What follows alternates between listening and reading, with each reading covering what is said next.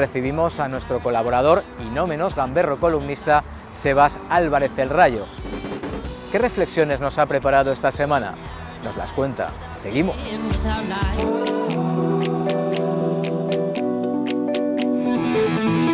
Hola amigos, aquí seguimos intentando que Cámara Abierta sea un programa aún más rico gracias a la cultura y a la risa, por supuesto. Un punteo de guitarra que ya ya que me he traído el atrezo, pues ya lo utilizamos. Esto es Humorismo Abierto 3.0. En este programa siempre vemos a grandes artistas o iniciativas sociales que forman parte del arte. Y es que el arte tiene un montón de beneficios para vosotros. ¿Qué pasa? ¿Que no me crees? Conocer y practicar el arte estimula la creatividad. Por eso cuando uno es pillo y creativo se dice, este, este es un artista. ¿O qué te creías? ¿Que era por otra cosa? ¿Porque era un sinvergüenza? No, hombre, no, no, no. Bueno, sí, la verdad que sí.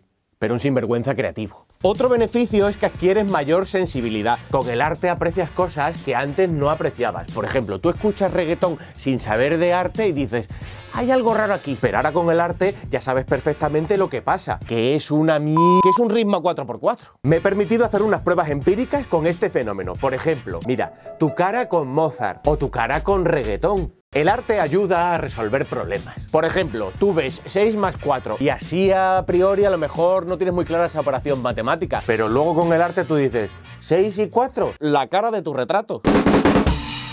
El arte es relajante, ayuda a calmar los nervios, a no ser que seas profesor de flauta dulce en un colegio de niños. Ahí a lo mejor cambia la cosa. ¡Calla, niño! ¡Calla! Hablando de docencia, hemos charlado un poco con Alberto Román. Él es profesor de contrabajo y nos ha comentado todo lo que nos puede aportar el arte y nos estamos perdiendo.